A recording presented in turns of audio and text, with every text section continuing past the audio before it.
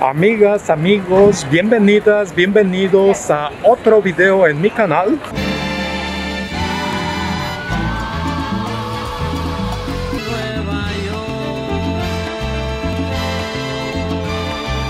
Estoy en Foley Square, aquí en el condado de Manhattan, en la ciudad de Nueva York. Hoy es la marcha de liberación queer, o en otras palabras es la marcha de las personas lesbianas, gays, bisexuales, transgéneros y otras personas que no se identifican como heterosexuales se calcula que en esta marcha van a marchar unas 50 mil personas. Van a marchar de este lugar de Foley Square a Washington Square Park, aquí en el mismo condado de Manhattan.